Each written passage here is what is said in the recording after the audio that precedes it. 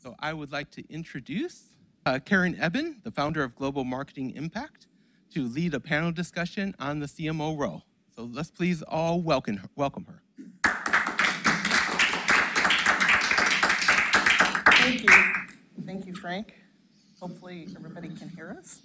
We'll join our seats here. So we have two of our panelists with us, um, live and in person, and, and one virtual.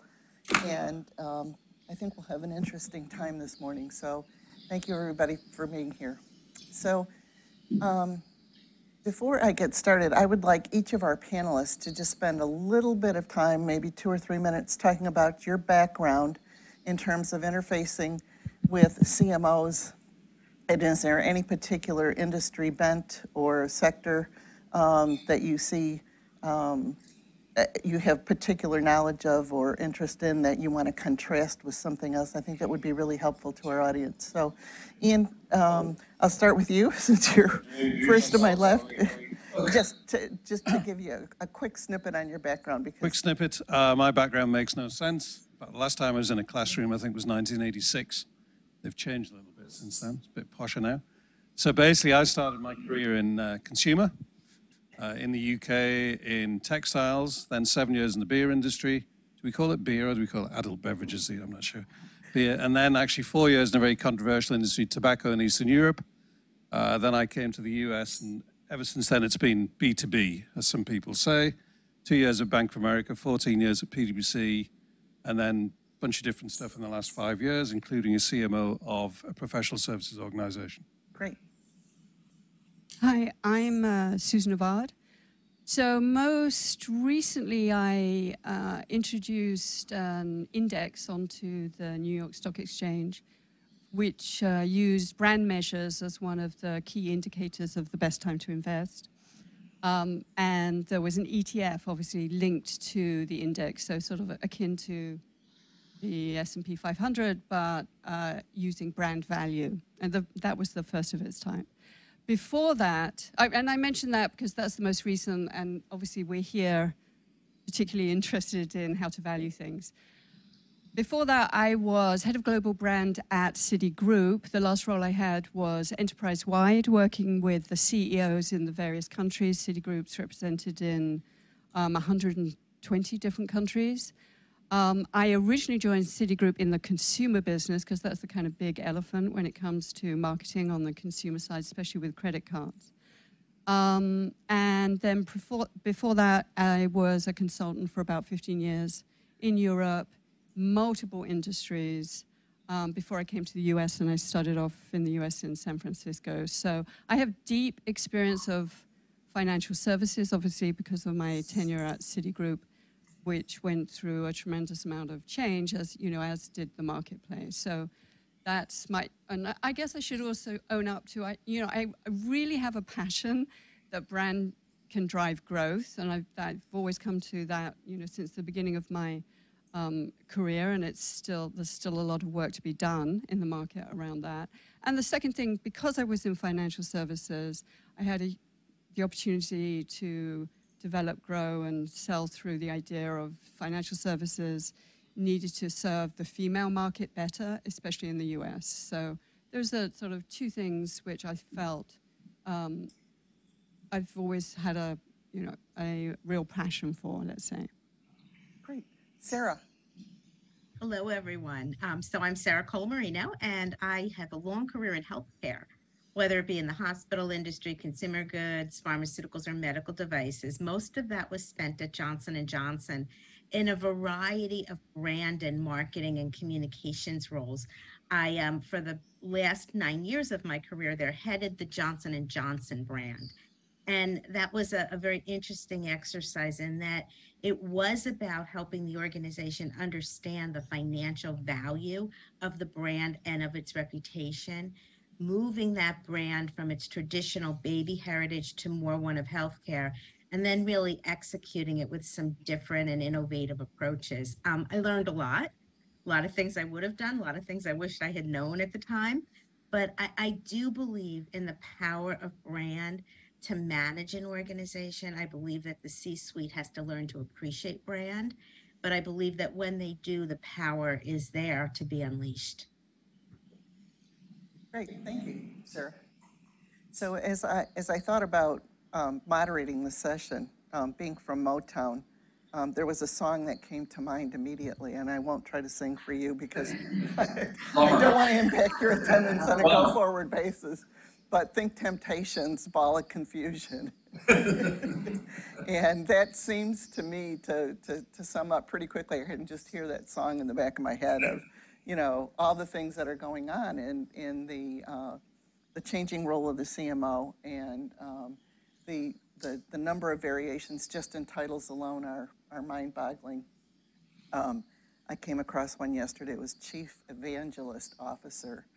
I'm like, I, I have no idea what that means. Um, And I think, Joanna, you had one that was Chief Marketing Technology. Chief Mark CMTO, that's my bugbear. So lots, lots of variations. We've, we've talked about um, a, a tendency to lean towards growth, and, and I think that's good because it gets you out of the efficiency mode that the industry's been stuck in forever. But um, as I, I reflect on even some of the conversation yesterday and our discussion of the Common Marketing Language Dictionary, we don't even have a definition of CMO in our common language dictionary. So we're going to wrap this all up with one, one good panelist session, and then we'll be good to go, and, and we'll have solved that, that issue for us.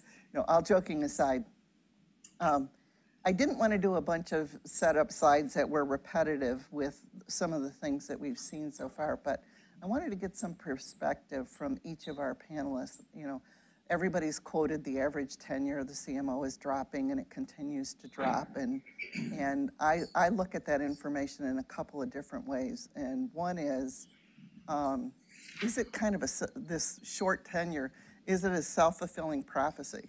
Because, is it feeding itself? Because if you're constantly churning your CMO, you're constantly changing your marketing tactics, which means you're not getting any traction, which then is leading you into this unvirtuous cycle of, of continuing to uh, shorten these cycles of, of CMO tenure. And, and do you think that's contributing at all to what we're, what we're seeing here? Speaking as someone who did have a short tenure in my last job, I can uh, give you first-hand experience. I think if you look at the um, the Korn Ferry data, look at all of these C-suite jobs, the there are two things that stand out. One is that the CMO job is has the lowest, the shortest tenure, about three and a half years, uh, and tenures of all C-suite jobs are declining. So the CEO, I think, has gone from eight years on average to seven years, and it does vary by industry uh, stuff like that. So if you are a CEO, you've gone through two and a half CMOs in your tenure. Um, is it a self-fulfilling prophecy? I guess one of the key things to measure is that relationship between CMO tenure and CEO. Has that got, as the gap widened? Uh, I think it can be a self-fulfilling prophecy, but it's, I don't think it's just a marketing thing.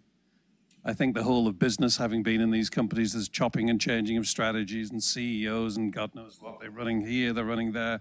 I think there's a general level of instability and quite often a lack of where the a focus on where the organization is going. Now, you could say that's all driven by short-term financial, managing to the quarter. I don't think helps.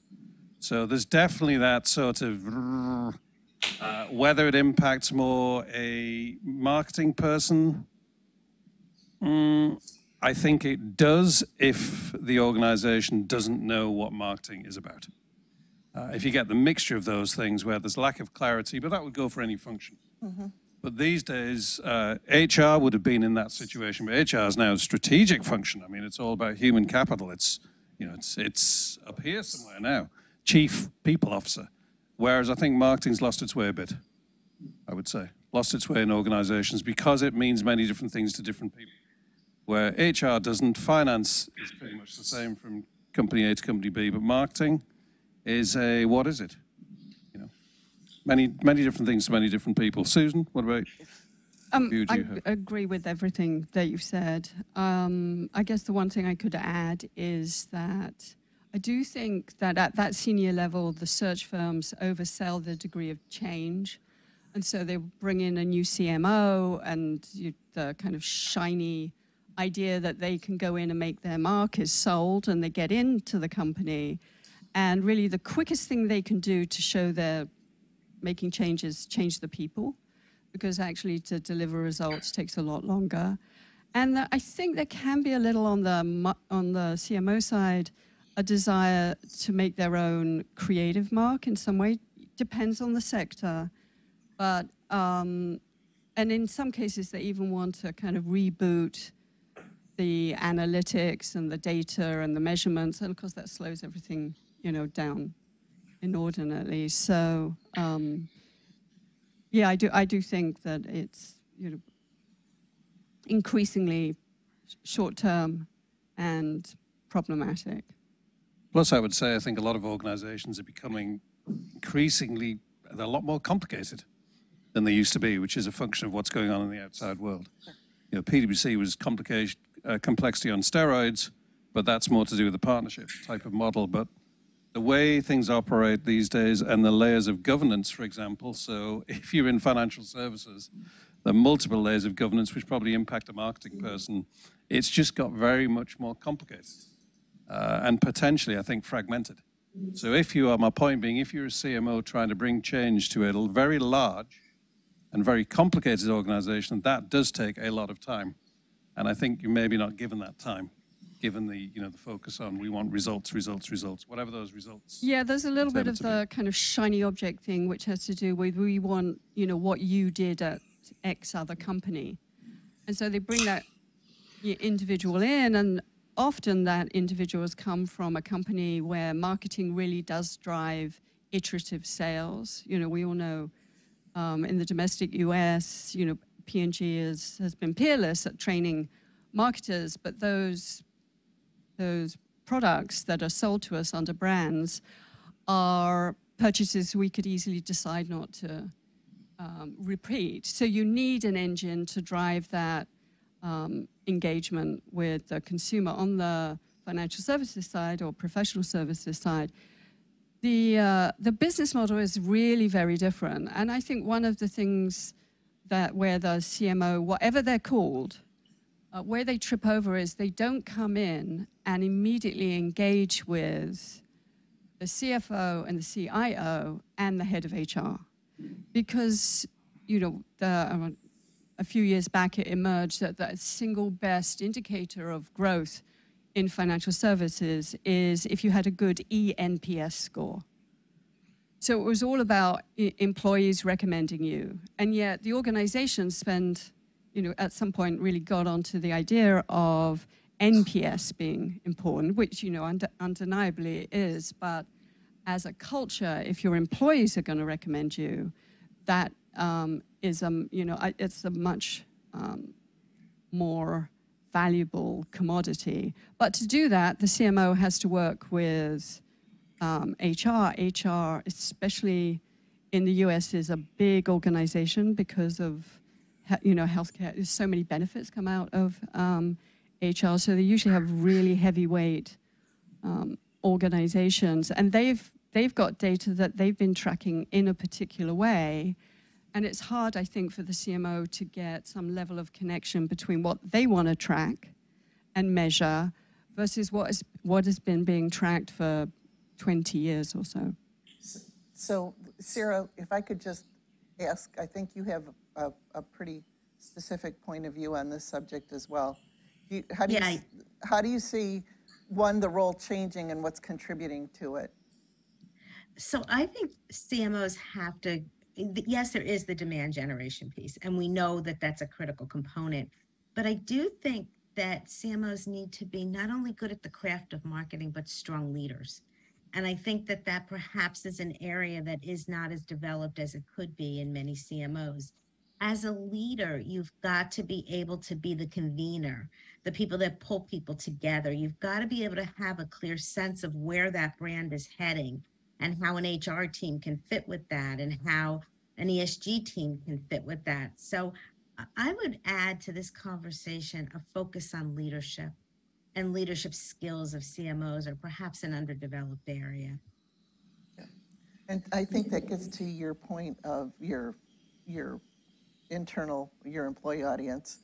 Um, And Ian, to your point about the complexity, because what you've seen is many new siloed parts of the organization. So I think Sarah's concept of, of being a convener is really, really critical. We started on this, touched on this topic a slight bit yesterday when we talked about the importance of recruiting or talent as, as a a strategic bent. Um, We talked about the importance of employees as, as an audience as well. Um, I think we have a question here. There's a, a, a common response in the, in the US from organizations where it's felt that better leadership of an, you know, an individual having better leadership capabilities would be important is to um, hire executive coaching. So in your experience, have you seen that at, you know, in, in the places that, you know, you've been, have they, have they used coaching? It's so embedded in the organization I came out of that everybody at a certain level, MD level, has an executive coach. Did it help?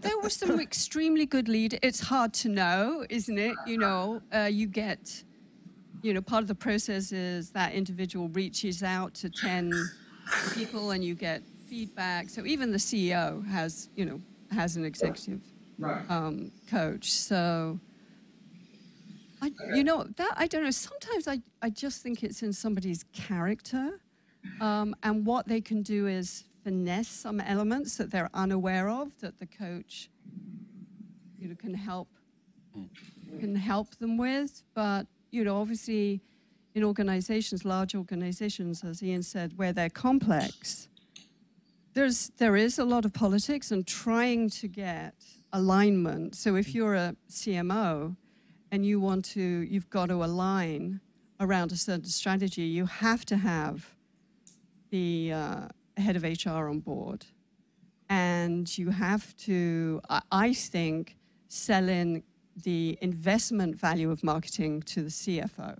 At the moment, I think it's still seen as an expense, and the connection between investing in the brand, whatever area it is. I'm not talking about, you know, solely communications or advertising, but experience, um, you know, digital experiences. You know, there are all sorts of things that can be done to grow the brand, and not every industry needs the same type of work. You know, some are a bit lopsided. They do, you know, a lot in one area, and then, you know, they're weak in another area. But um, you know, do, doing that type of work, I think, is is something where you need the other members of the C-suite, you know, on your side, and uh, it's the the story of you investing in building the brand and what it's doing to the stock price just really isn't. It's just not there yet. I think increasingly the you know leadership for what is the is the point. I mean, uh, not everyone can be a leader. Um, I think the whole thing of increasingly you are being asked to change and transform something. You know, change and transform marketing is a bigger, broader transformation need. That is often very hard in organizations like the ones we've been in. It's hard because if you're an overall CMO, you have businesses that have a lot of power business divisions. Uh, and therefore, your transformation job is often right. How are we going to pull pull people out of that's very very hard to do. I think the key to success is unless you have the backing, and the CEO has the intestinal fortitude, you know, to go that full length of the journey. It's very hard for anybody to succeed there. I think there's probably a lot of that churn comes from CMOs that are being asked to do that job, and ultimately they're not really. It's not a. It's not a criticism. It's just hard because of the way these organ, where the power lies. Uh, and in banks, the power lies in the divisions, in the card business, in the retail business. These are huge concerns on, their own. In PwC, an organization like that, the marketing people all sat within the businesses. Uh, and therefore, you know, trying to actually change that is a very hard, very hard thing to do. And therefore, I think a CMO, you can get wrapped up in all of that. And that can be a real time suck. And if it's about demand generation, how much time have you got left? And anyway, who's generating the demand? If you're an overall CMO of an organization like that, it's very hard for you, you know, to be the conductor of the orchestra saying, well, I'm conducting, oh, here's the demand that comes out of it. So it's hard. I think, like I say, uh, back to Sarah's point, aside from the lot of a, C- of a CMO, maybe what's the profile these days? You know, what's the desired profile of a CMO to be a success in some of these particular situations? That's changed probably. So I think, oh, sorry. I just ask a quick question to add on to what Sarah and Ian were saying, is that I wonder if you aren't being too kind to the CMOs, um, because, um, what you could say is that marketing, the job of marketing has changed a lot. As you said, it's now about employees, it's about digital, um, it's about, it's not about making commercials, and that the people in the CMO job perhaps uh, hide in the traditional place full of commercials and really are not capable of rising up to the much more complicated and difficult jobs. I think that's an excellent point because some, uh, well, uh, let me link the two things that you asked us about title. Yeah. And Joanna, you're highlighting that, you know, maybe some of the CMOs aren't up to it. And I think if you've had a journey that has come out of advertising, you're not, for the most part, so used to um, connecting across an organization. But if the organizations were willing to just let go of the title CMO and just always at the most senior level have a chief brand officer, I think with that word brand comes connection to everything. And there- therefore, that person can have responsibility for experience, retail, digital. They'll have oversight, general strategic oversight of everything. And then the CMOs in the businesses who are working with the individual business heads with really robust budgets, they can get on with that, you know, that the type of work that's required in the lines of business to keep the accelerator going. But um, I mean, that's what I, would do. Some organizations do have a chief brand officer, and once you once you've got the word brand in your head, then I think you know your responsibility is strate- strategic and holistic, and it, you begin to let go of the idea of needing to generate creative and work with multiple agencies and because there'll be other people in the organization who can do that. Sure. A couple of observations I would, I would make. One is, why did I get into marketing in the first place all these years ago when I left these classrooms? Uh, I did a history degree, had no idea what I wanted to do, stumbled on marketing by chance, but the reason it caught my imagination was how? Well, why haven't I heard about this before? This is like, you can do everything. It's got a creative aspect. It's like you're a general manager. Wow, this is great. And at the time, and probably still in places like P&G, they regard you as the general manager of a brand. Uh, that's the unit you're you're measuring. So it seemed to me, wow, this is great. You're like a general manager. Maybe that's part of the problem. Uh, and there are probably marketing. Pe- to me, that's what marketing ultimately is. Yep. Although obviously you've got the CEO, but marketing has a purview of everything. That's how what marketing used to be like. You know, the four Ps, and bring it down to its simplest. You were almost like the general manager in the business. How do we make all this work together? It was like the the glue. Yeah. Call that brand, call it marketing. Uh, now that may have, I think, changed a little bit as things have got a lot bigger. We've got technology, which has made things more specialized, a bit more complicated. Um, so that maybe what does really need to be redefined is maybe what is the role of someone who leads marketing in a business. So all the other functions own something that's a key strategic asset.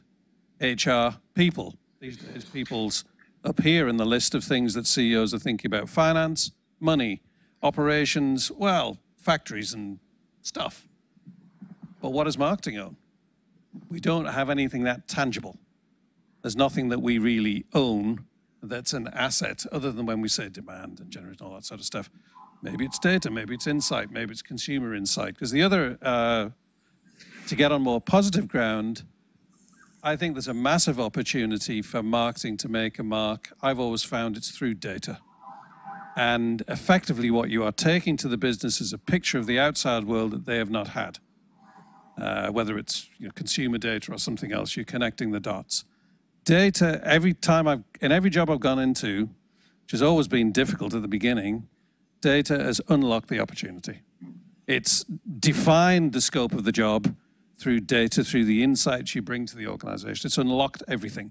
I think that opportunity is still there because I'm not sure who in an organization connects all these bits of data anymore and that with a view to asking the so what question or answering the so what question. So I want to lead, I want to sort of plant that as we're talking to MASB here. Okay. Uh, I think data is a massive opportunity. But to your point, Susan, how many marketing people are good at the data side of things?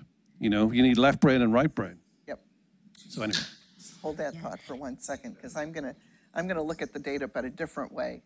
So when I look at two pieces of information, I find really striking that I haven't seen anything culled from this, and I think it may be an opportunity for MASB to go back, but I'm gonna ask this as a question to my panelists. When you look at the average tenure of the CMO chart, what people don't focus on is you got about eleven percent of the folks that are out there that are tenured more than ten years. Um, more than six years is about twenty-three percent, I think, in the latest round of, of research that I've seen published.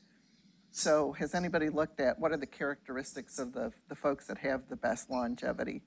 Um, Is it something unique to them? Is it something unique to their category? Um, And then similarly, I know there was a study back in the early 2000s that AMA did that looked at marketing representation on boards or marketing experience on boards. Um, When we have marketing experience on boards, and we hear, we hear the Spencer Stuarts and the others saying, we're looking to put more marketing experience on boards. Um, But how much of that is true, I don't, I don't know. I don't, I don't have those newest stats. But is there anything unique about the marketing function when you do have uh, uh, marketing experience on the board? um, And it's called out, or is it just check the box at this point? Is, are there any opportunities for, for learnings there in terms of how we shape the most successful CMOs on a go-forward basis? Sarah, I, I think you may have some ideas about this, so I'm gonna, I'm gonna ask you to speak to it, please. Great, thanks, Karen. I, I do think, I'm very much going to pick up on what Susan said about the chief brand officer, because I think if marketers at the senior level start thinking like that, they will ask different questions and bring different perspectives forward. For example, before an action is taken in a company, is there ever a, a conversation about what's the effect on a company's brand? I think those with longer tenure are rising to leadership positions where they're starting to ask the questions about the impact on the brand and what does the brand stand for and how do we continually revitalize this brand. I also think that as you think of a CMO in a C suite, you've got to think like the board thinks, right? And boards today worry about risk. And reputational risk is a real risk for boards. So I think the CMO that can be a little broader and can think about how do I grow with brand, but also how do I use brand to protect against reputational risk and have the sensitivity to that reputational risk. I think that's really where the leadership component that I spoke about rises to a different level for a CMO than than perhaps the shorter term CMOs. I think a lot of the, uh, I think a lot of it's situational, to be honest with you. And there's a lot of, In terms of where the success has been? no, in terms of, you know, the length of tenure, a lot of it I think can come down to situational stuff. I mean, speaking personally, uh, at PwC, I had like a 12-year stint. It was like, wow, I'm here for 12 years. This is, this is great.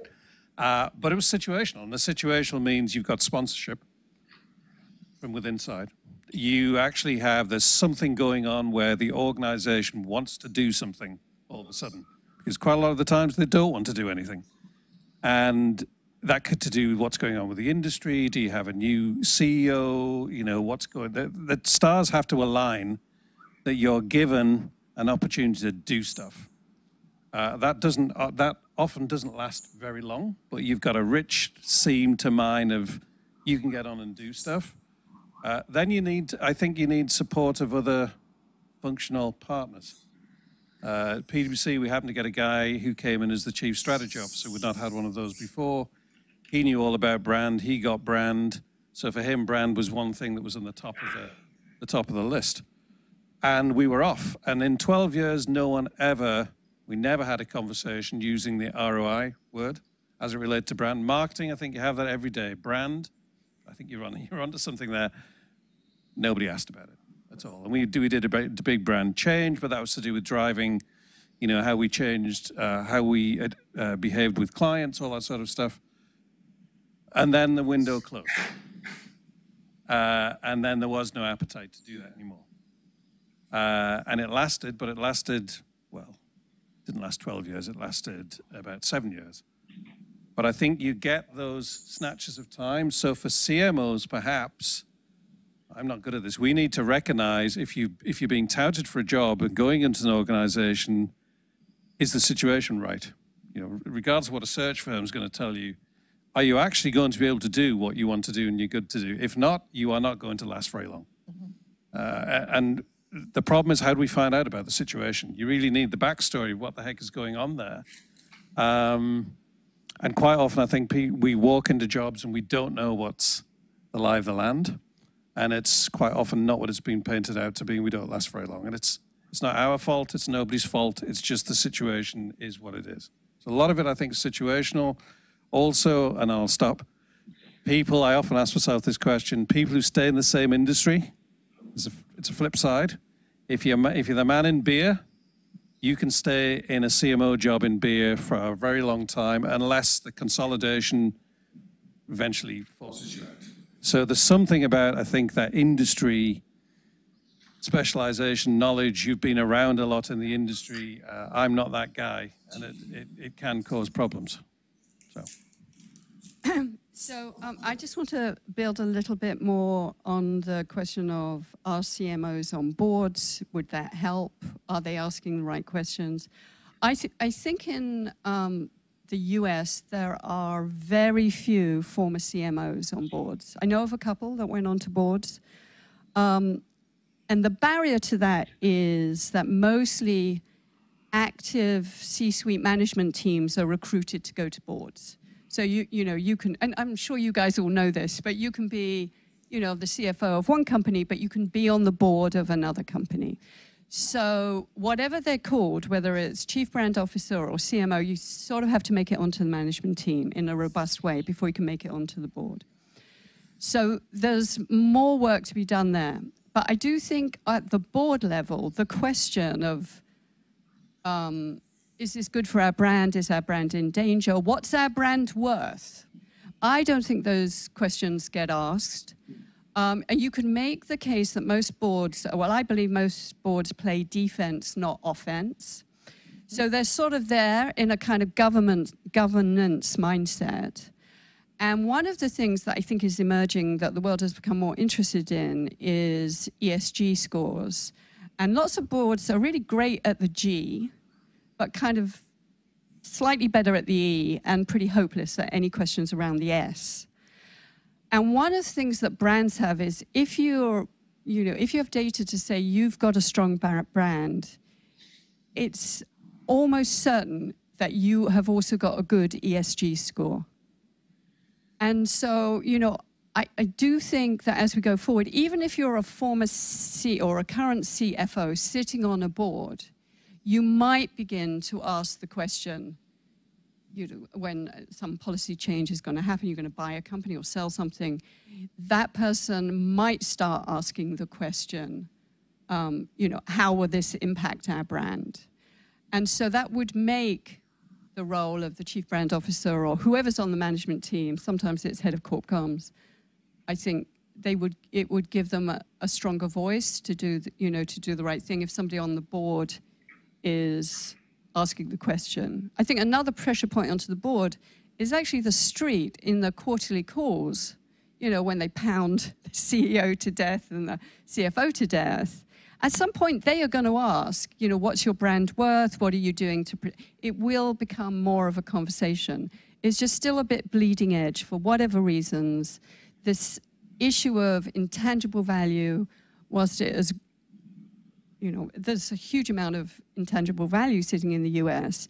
The word brand and marketing aren't quite attached to it yet. Mm-hmm. Even, even in the audit firms who are setting up practices, mm-hmm. right, to look at intangible value. So um, I can't say whether having a CMO on the board or helps the C-suite CMO. Um, my experience is they, they get sent onto boards of companies that are failing. You get a, suddenly you get a CMO on the board. Karen, we have a question Yes. from our people online. Yes. So this is a question. Okay. Uh, and do I need a microphone? or- we have a question on. Okay. One second. Okay, uh, Frank, I think. You're here, Jim.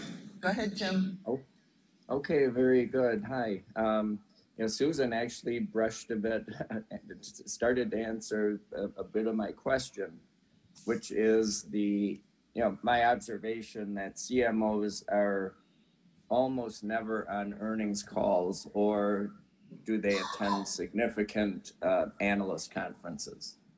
Um, and it seems a lot of that is, you know, perhaps a bit of historical accident or, you know, there may be some intentions. I know from, from my time at uh, Miller Brewing and Molson Coors, there were probably a couple of CMOs we would have feared putting in front of analysts and others that would have done quite well. But can you maybe elaborate a bit more on that and why, why that's not the case? And when I presented yesterday, um, I, I mentioned PepsiCo's Tuesday earnings announcement, which surprised, and, you know, analysts on the, um, you know, on the high side. And a lot of it seemed to me to be due to brand strength.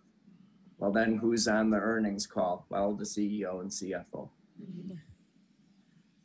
Well, I, I can say a, a little bit. I do think there are some companies that, when they do the earnings call, they have pulled in the CMO. Like I believe Mastercard has done that in the past when they're anticipating that.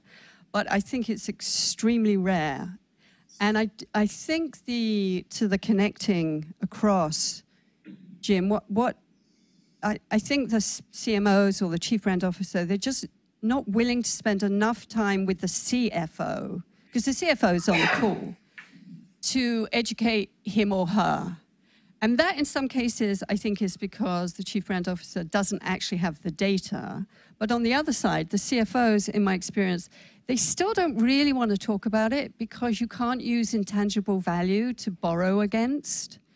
And so they tend to sort of think, well, you know, once the regulations change and it matters, I'll learn about this.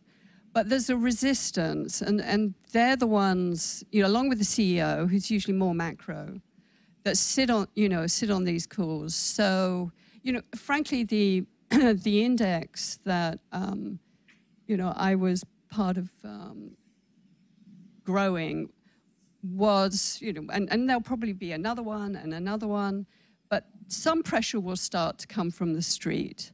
And I think that will make, you know, will make a positive difference to folks like us who feel we can all really make a contribution, you know, in some way. But it, it needs the, the, I believe, the CFO to be educated about how to handle that when it comes on the earning call. Because I think the CEO will say something general, but won't have the data. And the CFOs have to be willing to open up the books to connect the data to the numbers. And that's, that's not something they're willing to do at the moment. We Do I need question here the a microphone or? Oh, no, just, just go ahead and speak. No, I can talk. We have mics on. Okay, great. So we're. Um, A couple of things I want to mention is, one is regarding Karen's question about the marketing experience. I have a study that is still a working paper I'm happy to share with you. We looked at CEO's marketing experience, how that impacts firm value. And what we found was the greater the marketing experience of the CEO, it moderates the impact of R and D spending and marketing spending. Uh, so mo- mostly marketing spending, so in a positive way. So if you spend more on marketing, your firm value improves as marketing as an investment, the higher the CEO's marketing experience is. So that proves that there is some value to have marketing experience at the CEO level, not just at the CMO level. That's one point I, I wanted to talk, uh, mention. The second is, we've been talking about the short tenure of CMOs as if it is not a good thing. But many times we have to look at it and say, where do they go after that, right? Many times you can have a short tenure of CMO who may go on to become CEOs, right? Which is actually a positive thing. We don't want to celebrate CMOs having 12 years if they're not going anywhere, right? Right. So point here is that what is the trajectory of CMOs before and after? I think that becomes a very valid question for discussion. Are CMOs terminated? If then there is a cause for concern. concern. I also started another research on the gender of CMOs, right? We- We've known that traditionally women were underrepresented at the CMO or even the C-suite.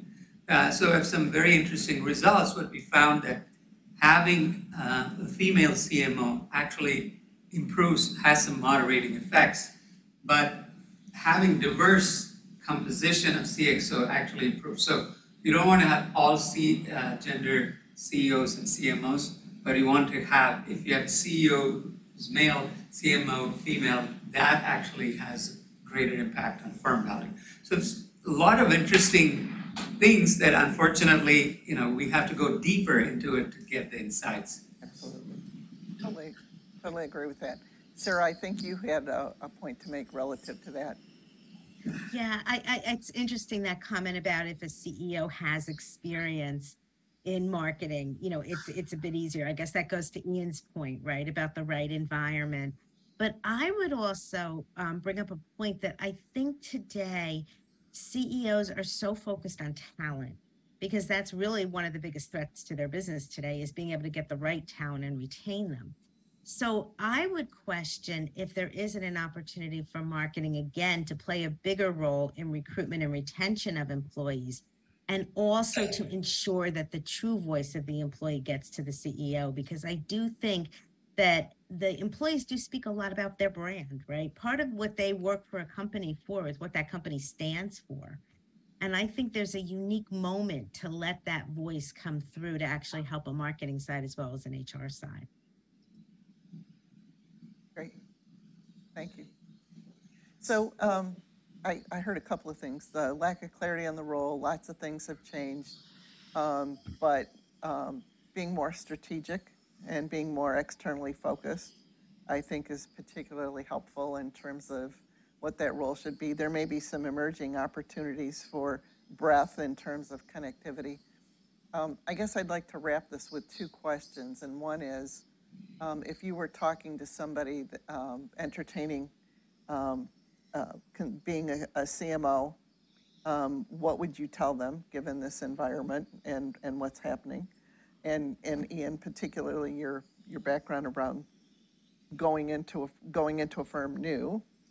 And then secondarily, um, what advice would you give to a CEO? And I know my personal view on, on the role of the CEO is after every decision your board makes, you should be saying, what's my impact on my brand? And that has to be not something that's sequestered to a lower level in the organization. I know you talked about a chief brand officer, but that still kind of silos it and puts it aside. And I see way too much discussion around, oh yeah, we have somebody that, that does our, our, that, that, that has marketing experience and they do our brand and our logo and our, and it's, it's relegated almost in terms of the conversation as opposed to, and, and as a result, we don't see the valuations, we don't see the, um, how does this business decision impact my brand, whether it's a quality spill, whether it's a discussion around part, uh, allocation of portfolio assets or anything else. It's, it's really more about what was the right business decision to make. Well, in, in the wake of that, we see people and organizations better at killing brands than building brands. Thank you very much. And how do you stop that behavior? So two questions, CMO advice and CEO advice. So the CMO advice I would give to somebody going in, although I'm still remain a fan of a big picture thinker that connects the business strategy with the brand strategy, and then people in lines of businesses marketing it. So assuming it's somebody who has that oversight of all aspects of brand, um, in this culture, in this business climate, I would advocate for um, getting ahead of some sort of mega trend and just sort of get out of the weed, understand what the business strategy is, but talk um, with your peer group, which hopefully, you know, you're on the C-suite, um, just identify, you know, what's the big shift, and then be the brand leading through that. Um, it's not easy to do, but there's always something very significant happening in one sector. There's, there's not usually more than one big trend, but if you can be the one, if you can be the, the company and the brand, and I, for me that I think is the opportunity, but it needs a lot of future forward thinking. It's hard, you can't get that from the data piece. You can check you're making a difference and you're growing and you're you know, either driving, you know, more engagement internally or demand or acquisition, but you've got to be out there because that's what the new customer, you know, the new customer, they want to see you participating in society. They definitely do. And they think brands can lead change more quickly than government can catch up with regulation. And they want that. And we've seen that, you know, in the last five years. So I, I, guess that's a little bit of, in a way, strategic advice. I also think they can go in and ask for a different title. They don't have, you know, if they if the just to the, you know, whatever the title is, the search firm comes forward and says, you know, okay, we need a CMO or a chief, you know, um, evangelist whatever. That person can say, you know, what I think, knowing about what you've told me and what the issues are, this is the right thing. I think show leadership from the get-go, because you can definitely do that. That's, that's really not a problem, I don't think. Um, and then advice to the um, CEO. So I, am just going to, just because I, I have experience of financial services generally, um, I think I, measure, I mentioned uh, the CEO of MasterCard. He has a rich marketing background. Um, and so, I, you know, I think we've he knows which questions to ask. And there are other people out there as well, and you know, of course, not the only person. But um, what I would say is, in the industry I have most experience with, that um, the CEOs need to be prepared to take the language of their brand and use it and they tend not to. They want to, you know, by the time they're at the CEO level, they're worried about the board and they're worried about the regulators. And they'll have speeches written by corp comms and they'll give speeches and they rarely mention any of the language or any of the purpose work that has, you know, they, they just don't take the language that they're uncomfortable with it. And so they're an immediate disconnect with what's being sent to the customer. And I think it's a small step in a way, but they have to, um, you know, you know, you have to see it to be it, that idea. And if the CEO is not out there talking about what they care about and using some of the language that's been developed, then, you know, it's a big signal internally. People are not going to look at, you know, the Instagram or the Twitter account and, you know, employees and customers and you know the senior folks. They're not going to look at that and take that language. They're going to look at the language that is coming out in the media or at the management conferences, that sort of thing. And so I think that's, uh, you know, a lot of CEOs who don't have marketing background are very uncomfortable, talk, you know, talking about, you know, what the brand stands for, what the goals of the brand are. Most won't even use the word. Mm -hmm. Some will, but most won't anyway, it's a small step. Uh, I think advice to a ingoing CMO, provided the situation, provided the situation will allow for it, is uh, to some degree, I think it's about changing the conversation in an organization. And therefore, I would say grab three things to do that. I would say grab the brand. I'd say grab the data. And I'd say grab the voice of the customer. Three things there out of that soup you can probably put those things together and start to change the conversation. The other piece of advice, I think, which is an obvious one, is look for somewhere in the business where you can be seen to be helpful, uh, make an impact, whether that could be recruitment, it could be there's a business unit, it's just something where I think at the same time as you're grabbing all the stuff to change the conversation, someone's looking for some quick, you know, the proverbial quick win. Um, that makes it a lot easier, I think, for whoever's brought you in to make it look like it was a good idea. I think advice to a CEO, think about my PwC days, I think it's, it's seeing is believing. It's all about perception. So I think I would say to the CEO, bring the CMO into the conversations that matter. Don't leave them outside. So, uh, you know, those strategic conversations, the more people are in the conversation, the more that people get used to them being there, the more people can contribute. But if you're shut out of the conversation, even in the room, it's a non-starter. So I think get them in the room. And those conversations don't need to have to be about demand generation, all that sort of stuff. There could be, there could be a whole gamut of whatever touches the value chain, supply chain, demand chain. Um, you know, it's as much about operations these days as it is anything else. So I would say if you want to make them successful, they have to be in the room. Sarah?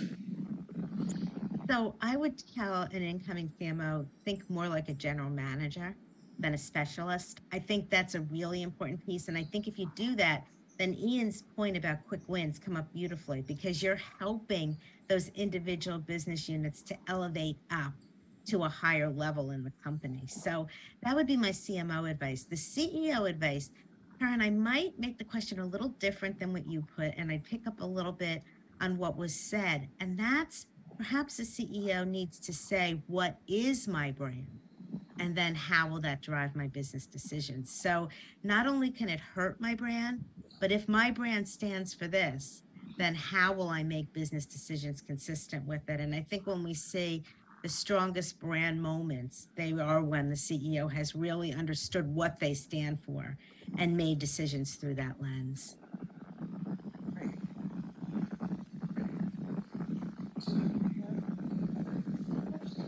Yes, we have time for uh, one more question of, uh, like, Question time. anyone have a question in house? Okay, me. Okay, um, what about innovation?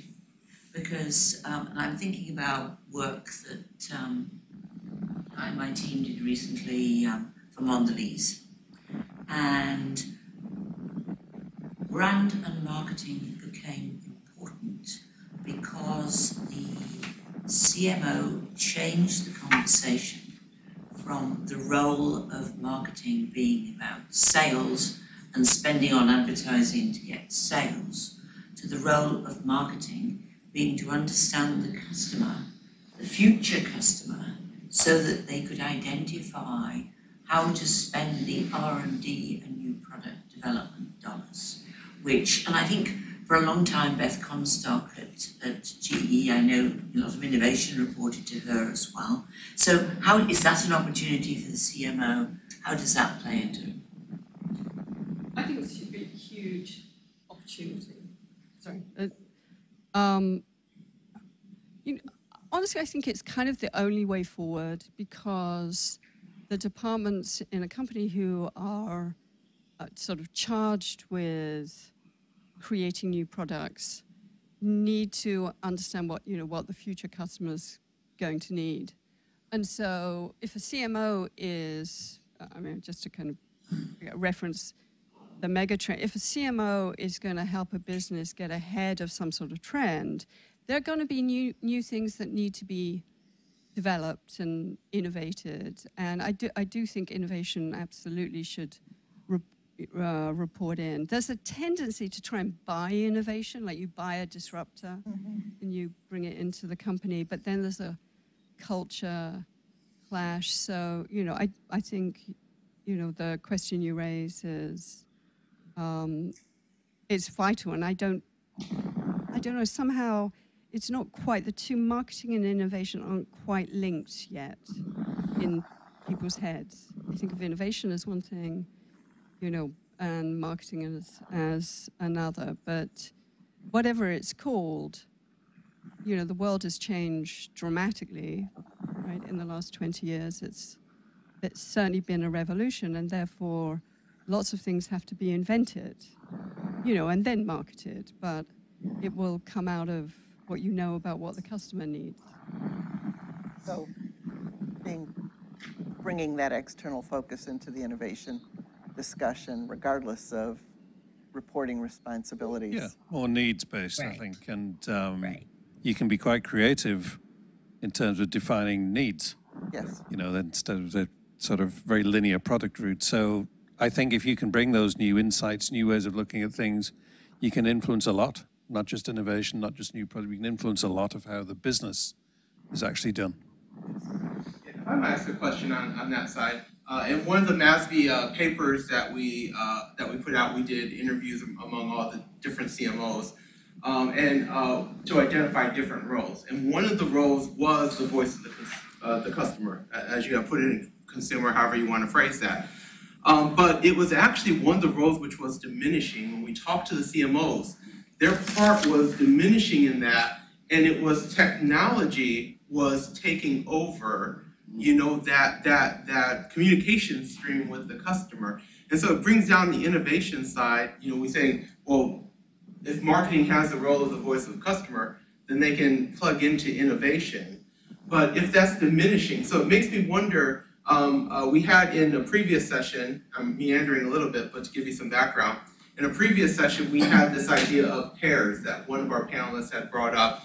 The idea of actually, when you take over the CMO role, make sure you have a secondary group of people and make sure one of those is a tech expert so that you can control that voice of consumer. And so I'm wondering, what, what do you think of this role of secondary people and the talents that they would have that can help you be a successful CMO? So your, your, your staff, basically. Well, yeah, I mean, I think if you're a general manager, to Sarah's point, not you're not going to reinvent the whole C-suite team just for your function, but you want someone who understands or is aligned with HR, someone who understands is aligned with. You need people in your team aligned with functions, with the other functions. Uh, I think that's fairly critical these days. Uh, to be honest, again, you've got to be in the room. You got to, and back to the point about think about the voice of the customer. Yes, technology is doing a lot to collect data around various interactions, but my experience is this data just sits there. I mean, I've looked at voice of the customer, uh, customer typical satisfaction things. It just sits there, sits there. And you look at this stuff and say, well, there's some clear things coming out of this. Nobody's doing anything about it. And funny enough, that explains why we don't win much business from existing clients. You know, so you start to build up a picture. So I think you're right. You just need to identify where the data is, get your get your arms around it. But at the end of the day, there's someone's got to synthesize it into a. This is what I think it's telling you. Uh, and the good news is that's generally not often done. I think there's an opportunity. Maybe to the innovation um, and voice of the customer piece, there's the opportunity for a supportive second role, which is more voice. Voi- I don't want to be too kind of trendy, but like voice of the culture. So, because customers can't always tell you, well, they can't tell you what they need, but you can, as a you know chief brand officer or a CMO, you can get ahead and see what's changing out there, and what will impact them, and therefore what you need to innovate for.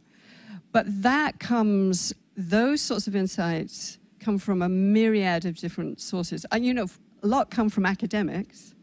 Um, but you know, other things come from um, you know areas in the culture that businesses aren't used to investigating or being that involved with. They used to be called futurists. These people. So it's you know a kind of like yeah, I mean lots of there are you know there are company there are something, yeah. companies out there that keep a track on the trends and what's changing, and so that you know um, and that will come back. And I, I think those roles they don't really exist in companies. There are like as you say there are some outside consultancies that collect data and research, but there's no no person that's kind that's the forward thinker other than maybe the CMO in companies. You've got you've got a lot of people increment incrementally tracking what's going on. And there's a kind of short termism, I think, to it, to a lot of the, the data that's held.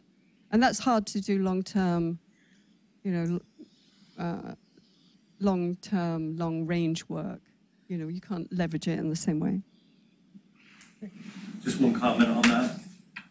You know, that's where I've seen uh, marketing operations really help out the CMO.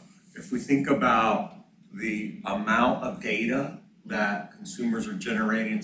Like hundred and seventy-five zettabytes by twenty twenty-five, right? So, um, and the amount of technology, I don't know if folks heard uh, the Martech five thousand, that's now grown to eight thousand.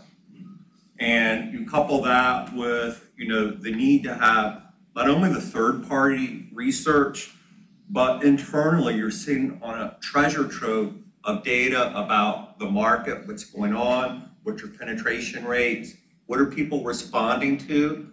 Um, what is your sales follow through on the funnel?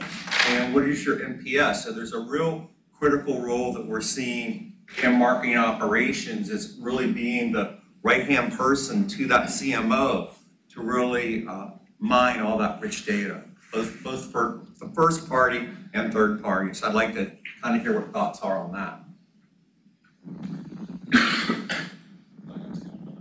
Well, I mean, I'll just repeat myself. I think the, the, there's gold in them that data, but you got to, the, the gold comes in not in the data itself. I think the gold comes in The connecting the dots. Yeah. What does it all mean? And there's a there's a bit of a rare skill there because I, I'm not sure research agencies these days are either given the opportunity to, do the dot connecting or do it anymore.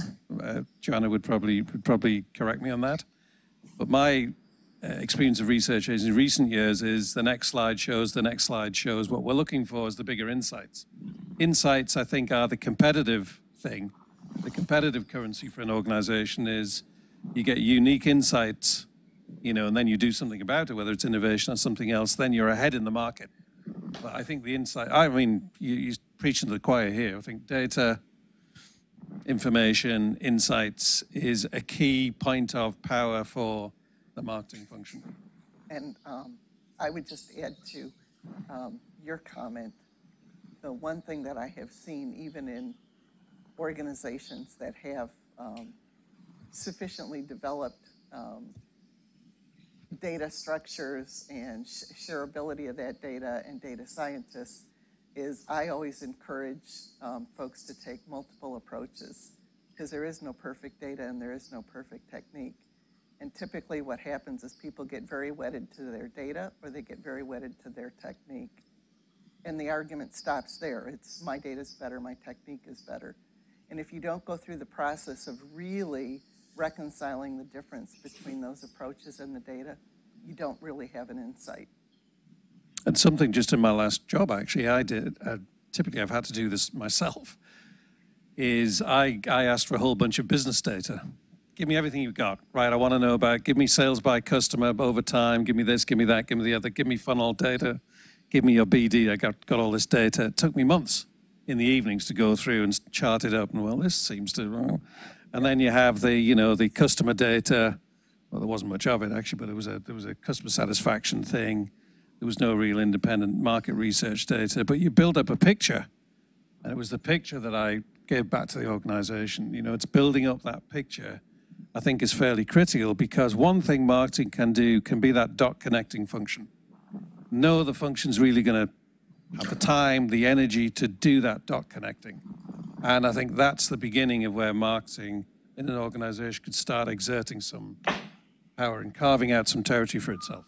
And I think, Sarah, that was your point that you were, Exactly. that you were making Exactly. earlier. Yeah, and I'll add one other thought to the whole data conversation. I think data about your business, about your customers, about your brand is great, but you're part of society. And how do you fit into what's happening in society? I think Susan referenced that earlier. And I think that marketing in the world of an ESG driven focus, and I do think you're going to see more and more of that over the next years. I think there's a really unique opportunity for marketing to use data in a smart way. ESG will always look at what are the risks, but there are opportunities that come out of ESG. And how does a marketer grab those opportunities, use their insights, and uniquely com- turn them into a competitive advantage? Absolutely. Thank you. Can I ask one last question? So Karen brilliantly, as she said, spotted that uh, the word CMO is not in the marketing dictionary. So if it was to be in the marketing dictionary, I mean, it's really two questions because I can't It's Chief Medical Officer. One is, one is, one is, one, one question is, if you were going to define the word CMO now, what would it be? And the second related question is, what should it be? The title. Would you define Define what? The word CMO? How would we define it? It's going to be an entry in the marketing dictionary describing what it is. Oh. Um, well, I, I do, I feel that this, the CMO title or marketing hasn't quite grown up. So I do think it is about um, driving engagement and sales. And so if you have the title of marketing, I think you don't think, okay, I'm also responsible for retail. Because there's usually somebody else in the org who's like head of retail. And so you, you've got, it's too narrow a lens at the moment. I don't think it has opened up enough. So I, I, I think it's diminished because companies, um, larger companies have um, embraced um, more aspects of the customer experience. So they, you know, so they have the CMO doing one thing, and other people are managing other types of customer experience. Whereas the s- disruptors that have come into whatever industry, they come in brand fit from the get-go. They usually have entrepreneurs leading them, and they, they really get it right. I mean, they grow those business. They're chari- usually charismatic leaders. The brand piece is strong, good, and robust. So I, I would, um, I would pu- probably put in some other type. You know, obviously, I would put in chief brand officer as somebody who's responsible for um, protecting and growing the value of the brand, and then I would list every single as, you know aspect that touches you know society or the customer that belongs to that company. Because if you're a product company, you have a different suite of um, products and services and different impacts. You know, you might have events and sponsorships. You know, you might be engaged in some social, social enterprise activity. So I, I think some of these things that you're actually responsible for need to be listed. I'm, I'm not personally against um, like a uh, like a hospitality chain having the title chief people officer because it's all about giving a fa- you know a fabulous experience and making sure all those properties are you know are really top notch. I, d- I don't feel quite so passionate about the the challenge with the title as I think you know some other folks in the room. You know, I think it's it's what you do. So that's not a very good answer. I'm sorry to your question, but um, but for sure it should be in there. I think my yeah my approach with about the title, but I think that marketing be more around how you design. It's the function that designs and orchestrates how an organization goes to market, based on aligning the outside in and the inside out. That's the way I I always think about it, because okay, we don't own production, but in the you know in the Kotler world, we would that's what we would be doing. We would be saying, okay, then I will call back boil it down to four P's. Uh, that's all about how we go to market. Why do we go to market like that? Because this, we've looked at the outside in, we're aligning it what we're good at internally, our assets and capabilities, and this is how you're going to match the two up. Brand is a piece of that, but it's not the only, I think, piece of that. And that's where I think marketing, that should be maybe marketing's role. I mean, that's, I mean, otherwise, if we're not doing that, how has the organization decided on its own that it's it's it's going to market? That's I think our strategic role, which relates to business. You know, the hard edge of business, whether it's sales or demand generation. I think those are, for me, those are subsets of of that. You know, but it should be how we actually go to market as an organization, and against all of our stakeholders. I, I would add in, while I don't have the title, that it is what the what the brand or what the company stands for, and I think that that's a really important distinction.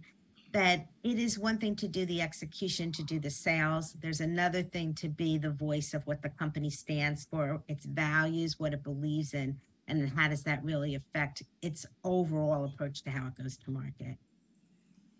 interesting thing is we do as a practical point compete. So if you're on a job site and you put CMO, you'll keep getting chief medical officer uh, jobs come. So that that is just a little thing we have to get over. That there is another function which has CMO as their uh, As their acronym. title. But uh, there you go. Thank you.